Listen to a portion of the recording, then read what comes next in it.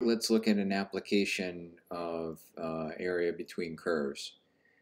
We introduced this idea of uh, Gini index or Gini coefficient during the last lecture, but let's look at an example from uh, baseball. So US Today, USA Today has data on baseball salaries. We're going to grab a table from them. Usually, if I'm not working in Colab and I'm working locally, this works but um, I just had to actually load in, I just saved the page and loaded it in and used pandas to read HTML and it will read in any HTML tables from an HTML file. Gives them to you as a list. So just grabbing the first one anyway, we get those players, salaries, what year, the total value, average annual, but we're just going to look at this salary column. Now, because it has these dollar signs and commas and things, the computer is not going to treat it as a number. So just a little bit of work to clean that up, get rid of those dollar signs and commas. And then if we look at, once it becomes a number and we look at the distribution, we have something that looks like this, which means that most of the players are down here on the low end of the salaries. There's very few who have these big yearly salary numbers like Max Scherzer with 42 million. All right, it seems that most of the players in baseball have very low salaries. So, as we did in class, we're going to look at just the percentile. So, we're going to to do that, we'll sort those salaries. So you see the low end starts at 555,000 here. we'll save that as this sorted salaries, and then we'll break it into five pieces. So at, at about every 175 players, there's 877 um, players in our data. So if we were to chop that into five pieces, we do it every 175 or so. That's all we're doing here is, is building those data points. And then we have, we want to know what percent of the salaries are in that first quartile. So that's the total salaries there over the total salaries. And then within the first 40%, the total salaries over the total salaries, and so on and so on. And here's what we find. What this means is that about 2% of the overall wealth and salaries is controlled by the lower 20% of players. 5% by 40, 11% by 60, 30% by 80, and 100% by 100%. So if we actually plot that, like our plot from class, here's what the distribution of baseball salaries ends up looking like. And again, what we said was that this diagonal line was perfect equality because then 20% of the wealth is controlled by 20% of the population, 40% of the wealth by 40, and so on. But you can see that we have quite a bit of departure from that perfect equality. And we said that we could measure this we could understand this equality simply by looking at the amount of area under the curve. Now, what we want is we want kind of a norm. We want to understand that in terms of a normal um, number. So we look at the Gini index as the ratio of the area between those curves to the area in the triangle.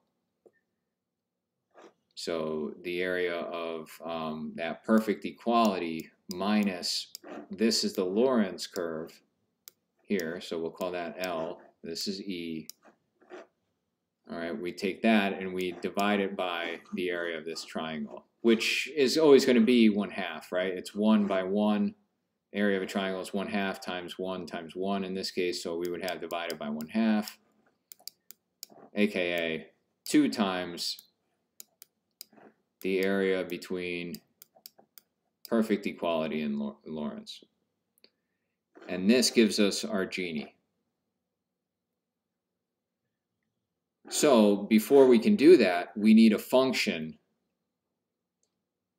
for the model of the salary values. This one is easy. That's y equals x.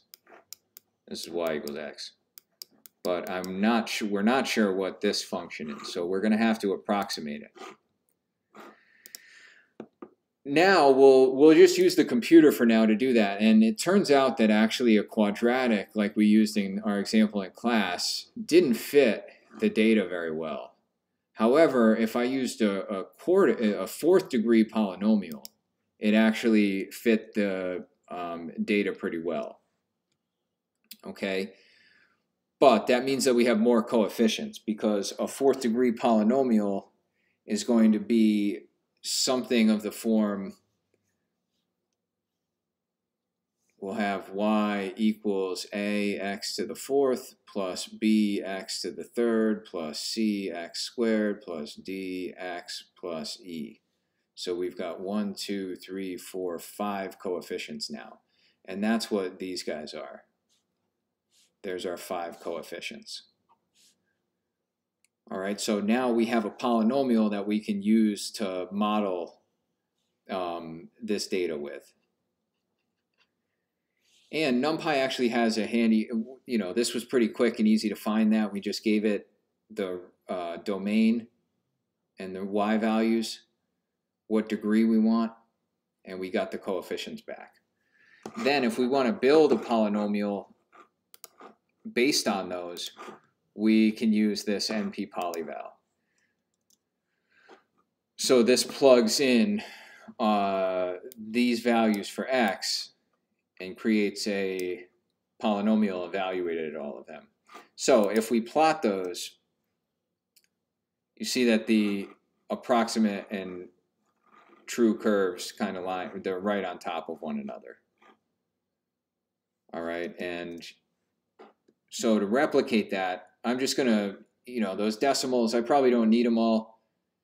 And if we check the just kind of rounded version of everything, this is what our polynomial that we found will look like. So then we can define a function, call it capital L of x for Lorenz, and we'll define our other function. Remember, that's just uh, going to spit back y equals x.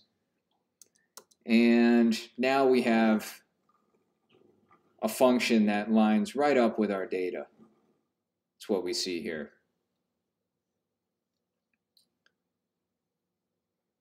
So the last thing is to actually compute the Gini index. And again, that's two times the integral of x. That's that uh, curve. We didn't draw it on this one, but just this y equals x minus f of x. All right, and multiply that by 2. So this is what we have here, right? And we're interested in area 1. So we can do like we've done before. We'll define a function to be the difference of those so we can just evaluate one thing for the area under the curve. Here's our area. It's the perfect equality minus Lorenz. Call that A1. And let's find that area from 0 to 1. Now again, based on our definition, we have uh, 2 times that definite integral will give you Gini. So the Gini index for our professional baseball salaries is 0.6. What that means is it's pretty unequal distribution of wealth again, a uh, the lower this value, the more equal distri- the closer to equal distribution, right? The tighter this area is, or the less kind of sag there is under that curve. So it looks like the distribution of wealth in baseball not that great right now. But you can really do this with any kind of um, any kind of data. Right, so another example is New York City actually makes available public employee uh, payroll data. So what we've done here is, I think I actually have to do this installation so that we can get the data using the API here. This is just some code from the website, they give you this code for how to pull the data, and here's what we end up with. Um, I just pull, I pulled 10,000 records, and we can, there's 8,634 salaries or data points on salaries in 2020. And if you take a look, here is what the distribution of that payroll looks like. So for extra credit this week, if you'd like, you can um, do an analysis of the distribution of wealth amongst city employees in New York City.